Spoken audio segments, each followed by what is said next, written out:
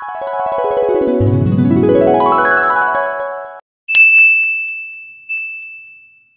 guys, welcome back to our YouTube channel. For today's video guys, I'm going to show you how I clean up my vintage speedy handbag.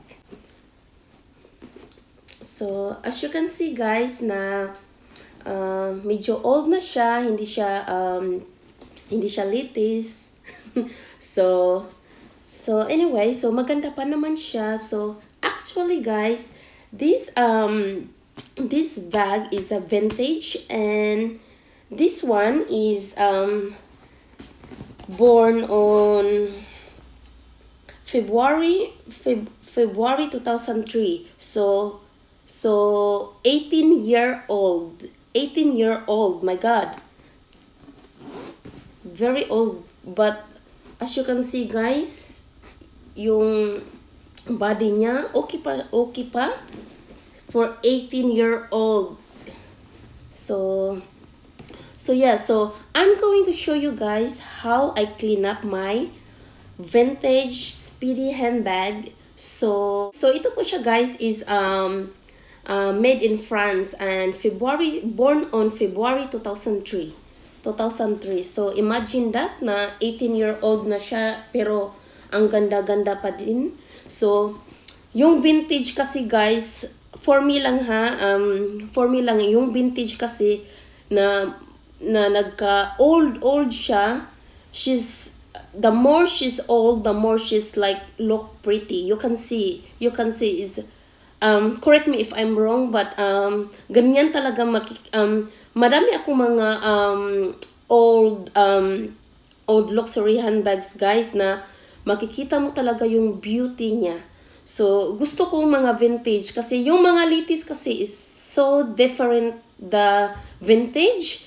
So, I prefer the vintage guys. Um, kasi, I don't know, I don't know if that's for me guys. So, so yeah. So, so this this one guys, hindi ko siya binili, hindi ko siya binili ng brand new guys. Binili ko ito sa pre-love guys and then um um, hindi siya hindi siya mahal.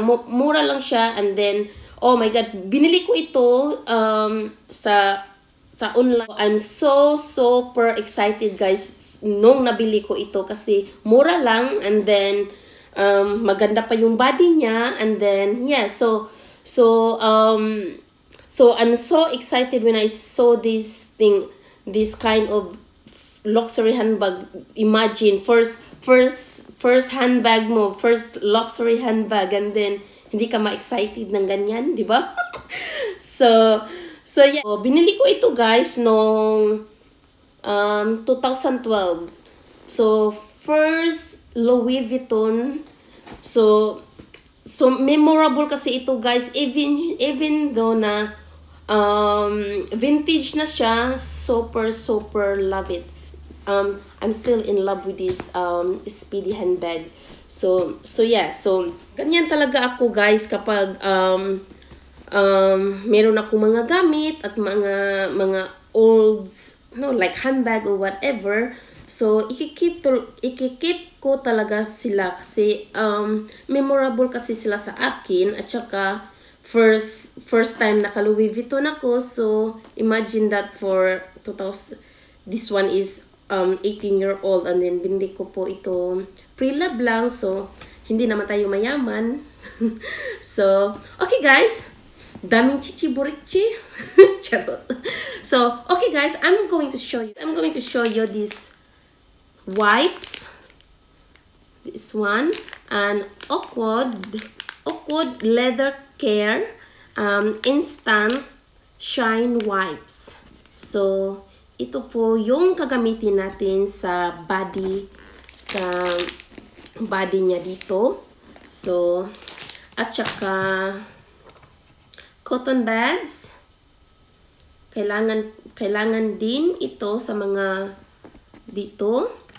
And then I'm using bras for um what do you call it? Um polish for the tarnish dito.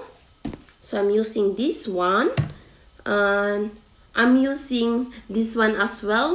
Actually, guys, this is for um, um, it said protect it all, but this one is um use this for the car, but I'm using this for my handbags. Bec- kasi um it's okay naman siya sa leather, guys. As you can see, meron siyang um sabi na protect it all, good for dashboards, tires, leather, plastic, vinyl, bumpers.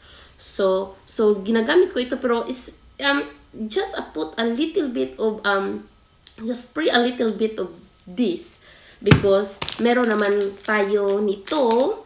So, this is the important one.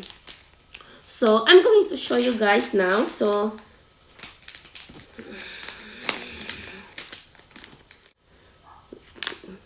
this one's good for shoes, um, all leather, handbags and belts and so yeah.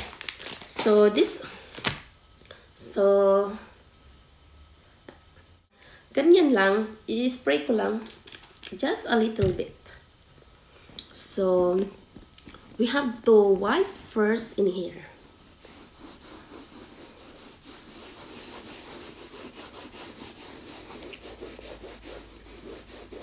Ginaganyan ko lang yung um, mga bag ko guys na uh, mga leather.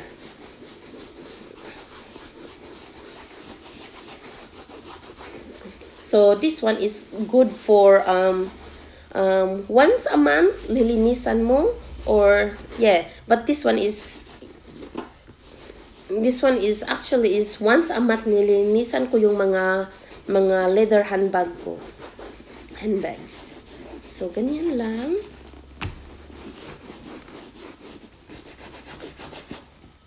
So as you can see guys as you can see na um, dirty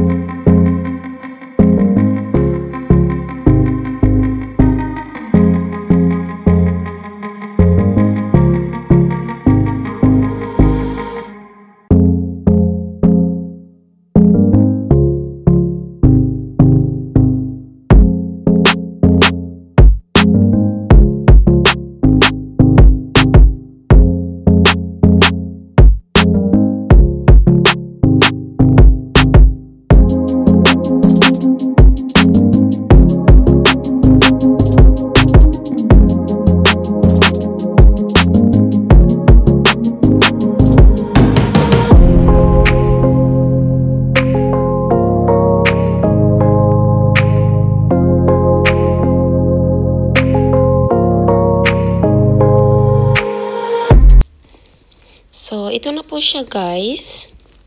As you can see. Ang ganda, di ba? Nalinis na siya.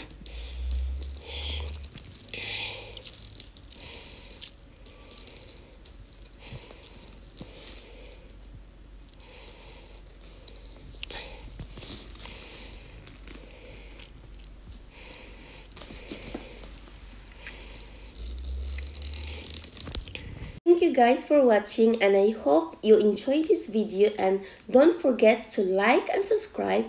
Click the notification bell para ma-update kayo sa mga sumusunod ko pang mga videos and thank you guys for watching and I see you on the next video. Bye!